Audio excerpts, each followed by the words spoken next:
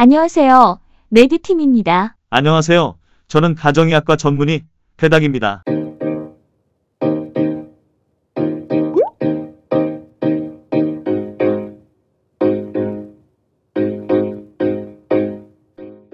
오늘은 여름철 모기에 잘 물리시는 분들을 위해 준비했습니다.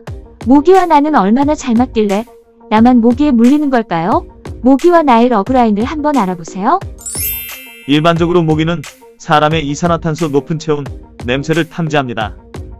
사람은 호흡을 통해 산소를 마시고 이산화탄소를 내뿜죠. 이산화탄소를 많이 내뿜는 사람, 즉 호흡을 자주 하는 사람을 모기는 더 잘 탐지하겠네요. 아이스크림이 녹지 않게 넣어주곤 하는 드라이 아이스. 이산화탄소를 얼린 드라이 아이스가 모기를 모을 때 이용되기도 한답니다. 실제로 모기가 있는 곳에 드라이 아이스를 놓으면 모기가 이산화탄소를 느끼고 가까이 간다고 하네요. 또한 사람의 체온이 높을수록 모기의 표적이 되기 쉽습니다. 특히 피부의 온도가 높을수록 더 잘 물리죠.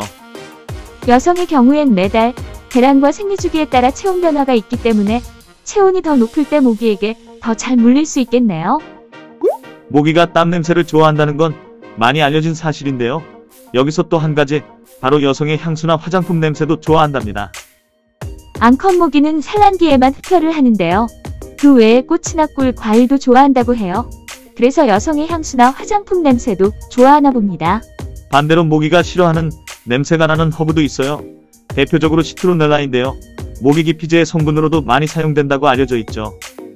정리해보면 이렇게 유형을 나눌 수 있겠네요. 기초대사량이 높은 사람은 다른 사람보다 체온 유지나 호흡, 심장박동으로 에너지를 많이 사용하는 사람들을 말합니다. 기초대사량이 높을수록 이산화탄소를 많이 배출하고 체온이 높죠. 열이 나고 기침을 하는 감기에 걸렸을 때와 음주 후 호흡이 가빠지고 얼굴이 빨개질 때 온도가 올라가면서 모기가 정말 좋아하겠네요. 여름철 향수나 화장품을 사용하고 외출할 땐 특히 더 모기를 경계하세요. 피부에 포도상구균이 많은 사람일수록 모기에 잘 물린다는 연구도 있습니다. 손을 잘 씻고 샤워를 잘하는 게 중요하겠죠? 또한 임신을 하면 체온이 올라가고 뱃속의 아기의 기초대 사량이 더하여 높아지기 때문에 모기에게 잘 물릴 수 있습니다.